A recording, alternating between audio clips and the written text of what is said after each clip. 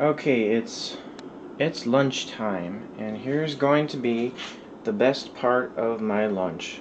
It's been the best part of my lunch ever since I've been doing it. So, like a couple weeks, two, yeah, maybe two weeks. Uh, I've been having a smoothie with my lunch too. So I used to have uh, coconut water, and now I've replaced the coconut water with smoothies. So, um, the last, uh, I made up a whole bunch of uh, Daterade. So this is just dates and water, and I added Ceylon cinnamon to it. And it's kind of funny, it, it almost kind of reminds me of root beer. It's very, very, very, very good and very sweet. It's nice uh, frothiness on the top.